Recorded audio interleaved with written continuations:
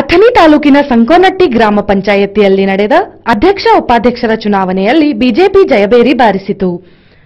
ಸಂಕೋನಟ್ಟಿ ಗ್ರಾಮ ಪಂಚಾಯಿತಿಯ ಒಟ್ಟು ಐವತ್ತಾರು ಸದಸ್ಯರ ಪೈಕಿ ಐವತ್ತೈದು ಸದಸ್ಯರಿಂದ ನಡೆದ ಚುನಾವಣೆಯಲ್ಲಿ ಬಿಜೆಪಿಯಿಂದ ಇಪ್ಪತ್ತೈದು ಸದಸ್ಯರ ಬೆಂಬಲ ಪಡೆದ ಅರುಣ್ ಬಾಸಿಂಗೆ ಅಧ್ಯಕ್ಷರಾದರೆ ನಲವತ್ತು ಸದಸ್ಯರ ಬೆಂಬಲ ಪಡೆದ ದೀಪಾ ಪ್ರಕಾಶ್ ನಾಯ್ಕ್ ಉಪಾಧ್ಯಕ್ಷರಾಗಿ ಆಯ್ಕೆಯಾಗಿದ್ದಾರೆ.